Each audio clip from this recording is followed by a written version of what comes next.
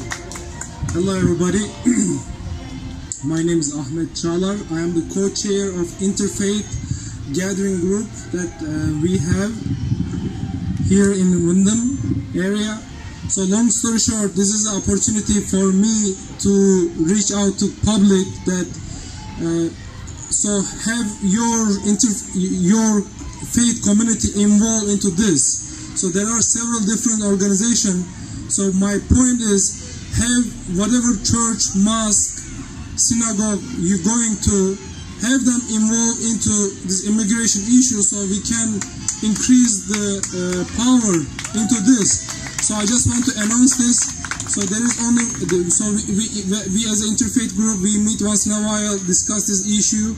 Um, so it is it is our in our agenda and I'm happy to see Neighbor Fund. They, they are doing great job. They are they are role model for us. So, uh, and and this is the best time to be activist. I told my friend, you know what? This could be it.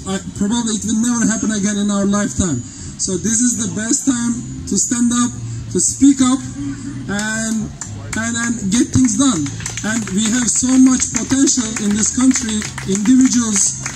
I'm, I'm so hopeful. There is no no need to be disappointed. There's so much hope out there. So let's just um, combine our energy together and fight uh, this. So it's an interfaith group. Uh, you can find us on Facebook, uh, in Windham Interfaith Group. And Facebook, if you research, we meet once in a while uh, to discuss the issue. Uh, so so uh, please join us if you can. Thank you so much.